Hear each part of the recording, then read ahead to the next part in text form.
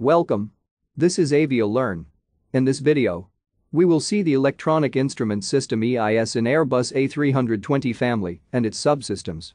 I hope you will enjoy the video. Don't forget to like, subscribe and share.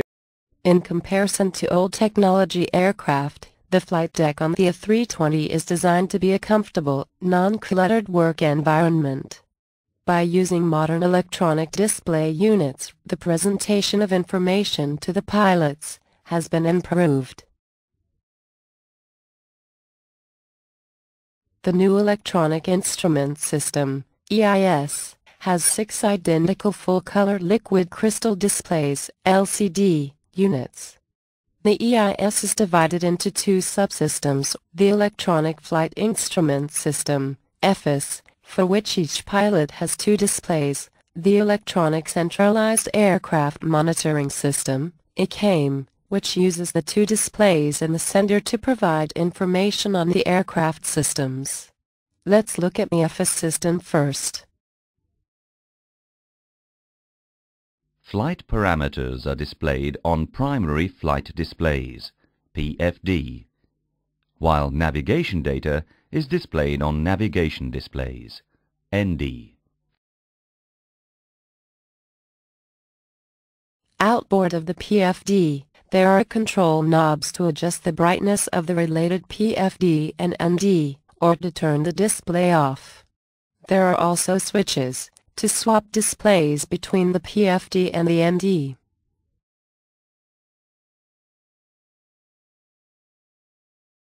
The two displays in the center are dedicated to the Electronic Centralized Aircraft Monitoring System, ECAM. At this stage we will simply introduce the ECAM displays and the related controls. The upper ECAM display is called the Engine Warning Display, EWD.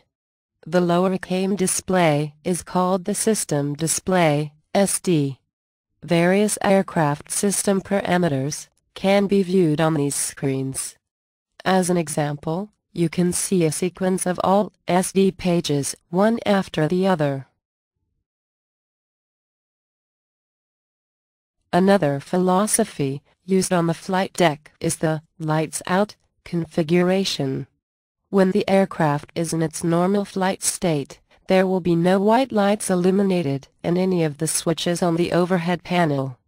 As an example, just before takeoff. If you look up at the overhead panel, there should be no white lights on, on any of the switches. Let's look at some switches.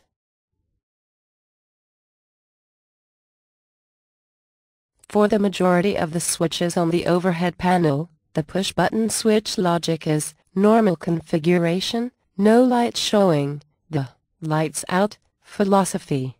Abnormal condition, amber fault light, this helps to identify the switch related to an abnormal condition.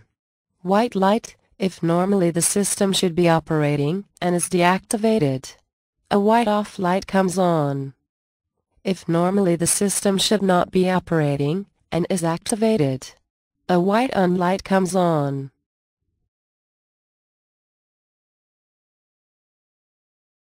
On the overhead panel, some switches are used on a temporary basis, or may have an indication of their state. The logic is, temporary selection for operational reasons, blue on light for example anti-ice. Applicable system status, green light, for example APU available. You will see this philosophy demonstrated throughout the course. The ECAM control panel is on the center pedestal, below the ECAM displays. On the left-hand side, two controls turn on off and adjust the brightness of the two ECAM screens. Just below the ECAM screens, on the pedestal, is a switching panel, for use in abnormal situations, to restore data to the EFIS and ECAM displays.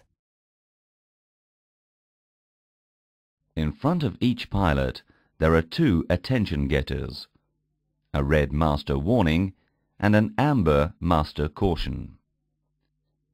As a further means of getting the pilot's attention, there is a loudspeaker on each side of the cockpit for oral alerts and voice messages. Note, the loudspeakers can also be used to listen to ATC and the intercom.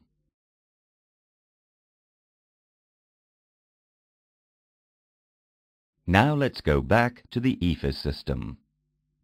For the EFIS displays, data from the Air Data and Inertial Reference System, ADIRS, plus navigation data from the Flight Management and Guidance System, FMGS, is fed directly to three display management computers, DMC. The three identical DMCs process the data and generate the images to be displayed. In normal operation, DMC1 supplies EFIS information to the captain's PFD and ND. DMC2 supplies the first officer's PFD and ND. DMC3 is available as a backup. Now let's look at the other EIS subsystem ECAM, and how the ECAM displays get their data. Sensors are fitted throughout the aircraft to monitor the various systems, including system controls operated on the flight deck. Data for some parameters, for example fuel quantity and primary engine indications is routed directly from the system sensors to the 3DMCS. Note that there are separate channels within each DMC for and EFIS. For the majority of the systems, the sensors supply data to two System Data Acquisition Concentrators, SDAC. The SDACs acquire system data, process it, and send some of it as system page data to the three DMCs. In normal operation. DMC1 drives the Captain PFD, Captain ND, and the ECAM display units. DMC2 drives the First Officer PFD and First Officer ND. DMC3 is on standby, ready to drive any display unit as backup. Two identical flight warning computers, FWC, receive data from the SDACs to generate amber cautions and the aircraft system sensors to generate red warnings and other amber cautions.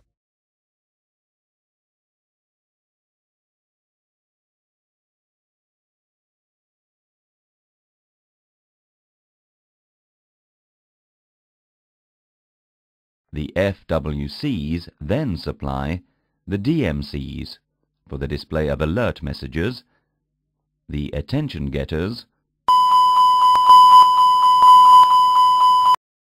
the loudspeakers for oral alerts and synthetic voice messages.